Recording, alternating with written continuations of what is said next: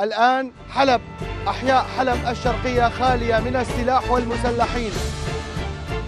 تعلن القيادة العامة للجيش والقوات المسلحة عودة الأمن والأمان إلى مدينة حلب بعد تحريرها من الإرهاب والإرهابيين.